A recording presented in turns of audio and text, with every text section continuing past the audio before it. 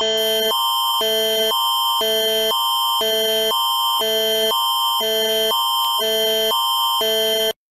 following message is transmitted from the BabyCorp Police Station.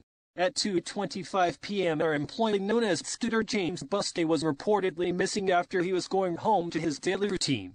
He was last seen wearing his red shirt, blue shorts, and was last seen in his red Ferrari. It is recommended that you keep an eye out, as there are many other people not like us driving in a Ferrari. Please keep a close eyes on the road, as there are many impaired driving in this time of night. Please continue with up-to-date updates on Scooter Buskie, as he temporarily suffers from attempting his life-threatening condition. Do not approach Scooter Buskie if you find him. He is very temperamental over the night time. For more information on updates, please visit www.babycorp.com slash emergency. Alerts. All updates will be updated as soon as possible. All stations will resume normal programming.